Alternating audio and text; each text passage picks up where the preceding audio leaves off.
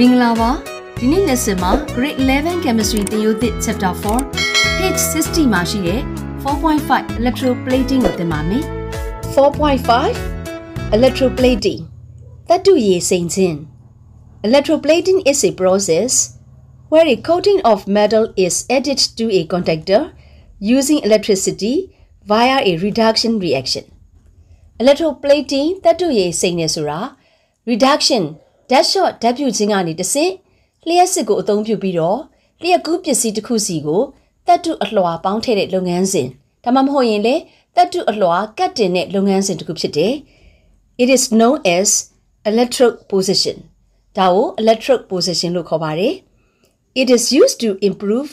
the appearance of the metal and to prevent the corrosion of metal တပ်တုတွေရဲ့အသွင်အပြင်ကိုမွမ်းမံဖို့နဲ့တက်တုရဲ့တန်ကြေးတက်ခြင်းဒါမှမဟုတ်တက်တုရဲ့ဂျေးတက်ခြင်း corrosion ကိုကာကွယ်ဖို့ဒီ electroplating ကိုအသုံးပြုပါတယ်။ The cathode is the object to be plated. ကတ်တုတ်ဟာတက်တုရေစိမ်လိုတဲ့အရာဝတ္ထုဖြစ်တယ်။ The electrolytic solution must contain ions of the same metal for plating. electrolytic ပျော်ရည်မှာတက်တုရေစိမ်ဖို့အတွက်တူညီတဲ့တက်တုရဲ့ ions တွေပါဝင်ရမယ်။ The ions will migrate to the Ketho, where they are discharged and deposited as a layer on the Ketho. Electrolytes ထဲမှာပါဝင်တဲ့ ions တွေဟာ Ketho ကိုရွေရှားပြီးတော့သူတို့တွေဟာ discharge ကြေပြတ်ကြတယ်ပြီးတော့ဒီ Ketho ပေါ်မှာတတ္တုအလွှာအဖြစ် deposit ကတ်တင်ကြတယ် It is important to ensure that the cathode is electrically conductive. ကတ်တုတ်ဟာလျှက်စစ်စီးဆင်းမှုတေချာဖို့တော့အရေးကြီးပါတယ်။ Figure 4.5a shows electroplating of silver. Figure 4.5a ha electroplating of silver Ngui ငွေရည်စိန်ခြင်းဒါမှမဟုတ်လေ silver သတ္တုရည်စိန်ခြင်းပုံကိုပြထားတာပါ In silver plating articles such as spoons or ornaments made of base alloys example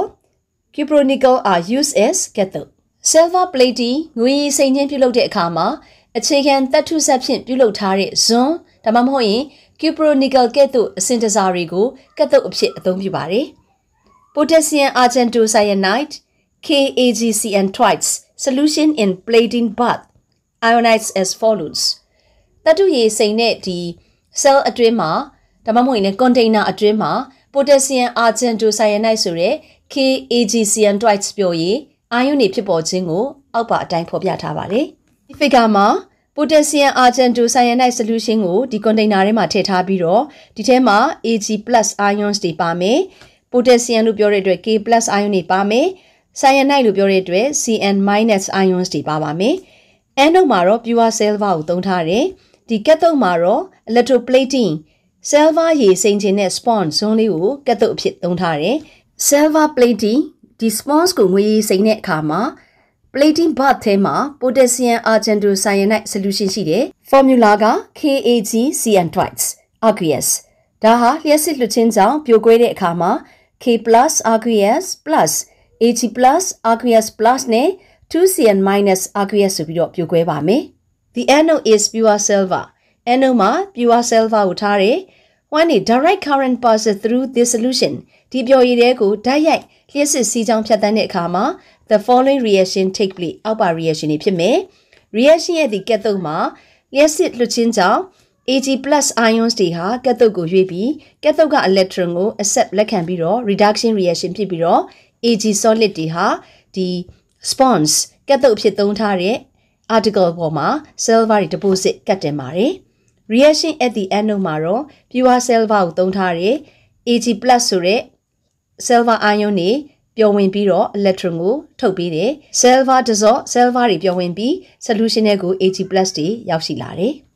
figure 4.5b shows electroplating of chromium figure 4.5b ဟာ electroplating of chromium chromium သတ္တုရဲ့စိမ်ခြင်းကိုပြတဲ့ပုံဖြစ်တယ် in chromium plating chromium သတ္တုရဲ့စိမ်တဲ့အခါမှာ a steel object is plated first with nickel or copper because chromium does not stick well onto a steel surface ခရိုမီယံသတ္တုရည်စိမ့်တဲ့အခါမှာစိမ့်ချင်းခံရတဲ့ဒီ steel object ကိုပထမဦးဆုံး nickel ဒါမှမဟုတ်ရင် copper သတ္တုရည်အရင်စိမ့်ရပါတယ် because ဘာဖြစ်လို့လဲဆိုရင် chromium ဟာဒီ steel မျက်နှာပြင်ပေါ်မှာ does not stick well ကောင်းမွန်စွာမကတ်လို့ပါ the object is used as cathode in a plating bath containing acidifying chromium 3 sulfate solution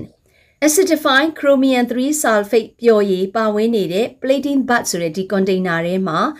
ဆရာမတို့တတ္တုရည်စိန်ခြင်းတဲ့ object ပစ္စည်းကိုကတ်တုတ်အဖြစ်ထားပါမယ်ဒါဟာကတ်တုတ်เนาะဆရာမတို့တတ္တုရည်စိန်ခြင်းတဲ့ပစ္စည်းပါ the anode is made of lead anode ကို lead ထားပါမယ်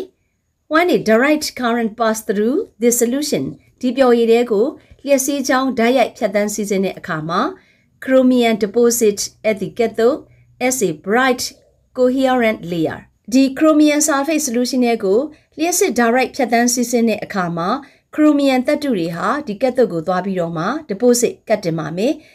bright coherent layer ဆိုတာ chromium ဟာ တောက်ပတဲ့ပေါင်းဆက်အလွှာအဖြစ်ကက်သွတ်မှာတည်ရှိနေတာတွေ့ရပါမယ် this chromium layer resists rusting and gives a bright silvery surface ဒီကက်သွတ်ပေါ်မှာကတ်တင်တဲ့ chromium အလွှာဟာ resist rusting တန်ကြေးတက်ခြင်းကိုခုခံနိုင်သလို bright silvery surface တောက်ပတဲ့ငွေရောင်မျက်နှာပြင်ကိုလည်းရရှိပါတယ်။ reaction at the gate သို့ CR3+ aqueous plus 3 electron forming CR solid ဒါကလည်းကက်တုံးမှာ electron 3လုံးကိုလက်ခံပြီးတော့ reduction reaction ဖြစ်ပြီးတော့မှ chromium platelet ဖြစ်တာပါ reaction at the anode 4OH- aqueous forming 2H2O liquid plus O2 gas plus 4 electron ဖြစ်ပါမယ်။ဘာလို့လဲဆိုရင်ဒီ chromium 3 sulfate ဟာ acidified acid ပါဝင်တဲ့ပျော်ရည်ဖြစ်လို့ပါ။ဒီနေ့ lesson မှာ Tespo page 60 electroplating ခေါင်းစဉ်အောက်က silver plating နဲ့ chromium plating နှစ်ပုဒ်ကိုသင်ထားပါတယ်။နောက် lesson မှာ review question ကိုသင်ပါမယ်။ See you next lessons. Bye bye.